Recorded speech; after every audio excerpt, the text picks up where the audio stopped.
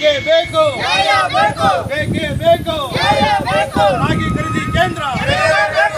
ರಾಗಿ ಖರೀದಿ ಕೇಂದ್ರ ಸ್ಥಾಪಿಸಿ ರೈತ ಸಂಘದ ಒತ್ತಾಯ ಪ್ರತಿಭಟನೆ.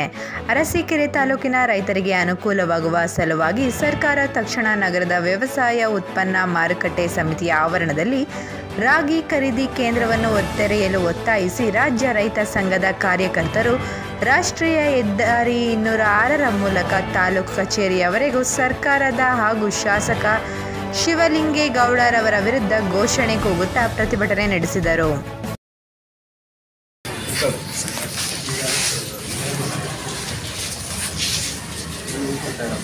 ರಾಗಿ ಖರೀದಿ ಕೇಂದ್ರ ನಮ್ಮ ಸಿಗರೆ ವ್ಯಾಪ್ತಿಯಲ್ಲಿ ಸ್ಟಾರ್ಟ್ ಮಾಡಬೇಕು ಅಂತ ಹೇಳ್ಬಿಟ್ಟು ಆಲ್ರೆಡಿ ಕೊಟ್ಟಿದ್ರು. ಅದ್ರ ಬಗ್ಗೆ ನಾವು ನಾವು ಡಿ ಸಿ ಆಲ್ರೆಡಿ ಅದನ್ನು ಫಾರ್ವರ್ಡ್ ಮಾಡಿದ್ದೀವಿ. ಅದಕ್ಕೆ ಕ್ರಮ ಕೈಗೊಳ್ಳಬೇಕು ಅಂತ ಹೇಳ್ಬಿಟ್ಟು.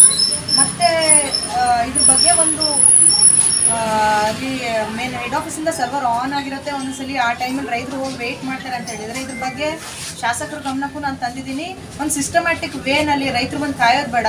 ಇದರ ಟೋಕನ್ ಸಿಸ್ಟಮ್ ಆದರೂ ಮಾಡೋಣ. ಏನಾದ್ರು ಮುಂಚೆ ಅಲ್ಲಿ ಬಂದು ಮುಂಚೆ ವೇಟ್ ಮಾಡೋದು ಬೇಡ. ಇದಕ್ಕೆ ಅಗ್ರಿಕಲ್ಚರ್ ಡಿಪಾರ್ಟ್ಮೆಂಟಿಂದ ಮತ್ತು ಎ ಪಿ ಎಂ ಸಿಯಿಂದ ಮತ್ತು ನಮ್ಮ ಕಡೆಯಿಂದ ಎಲ್ಲ ಸೇರಿ ಒಂದು ಒಂದು ದಾರಿ ಕಂಡಿಡಿಯೋಣ ಅಂತ ಇದು ಆಲ್ರೆಡಿ ಚರ್ಚೆ ಇದೆ ಇದ್ರ ಬಗ್ಗೆ. ಮತ್ತು ಯಾಕೆ ರೈತರು ವೆಯ್ಟ್ ಮಾಡಬಾರ್ದು ಅಂತ ನಾವೆಲ್ಲ ಕ್ರಮ ಕೈಗೊಂಡಿದ್ದೀವಿ ಮತ್ತು ಇದನ್ನು ನಾವು ಇದ್ರ ಬಗ್ಗೆನೂ ಕ್ರಮ ಕೈಗೊಳ್ತೀವಿ.